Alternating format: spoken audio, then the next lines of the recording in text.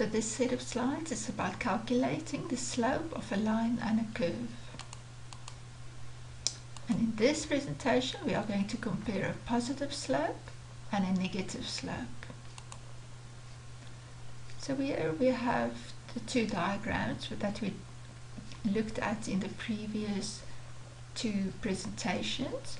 We have the relationship between company tax paid and company profit and we have the diagram showing the relationship between the interest rate level and investment. As you can see, this line has a positive slope. It slopes upwards.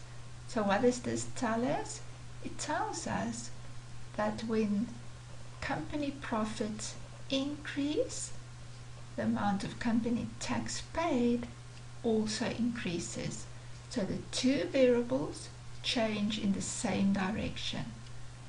Either both will increase or both will decrease.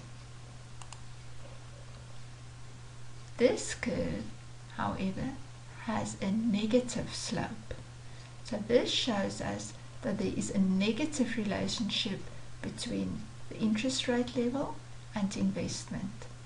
So when the interest rate level decreases, investment will increase. And the opposite is also true.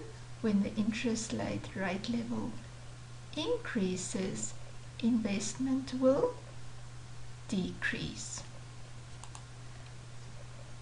What is also noticeable is that the slope of the line stays constant as you move along the line. So when you move from one point to the next point, the slope stays exactly the same because it is a straight line.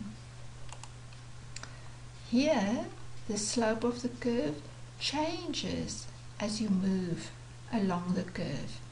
It is not a constant curve.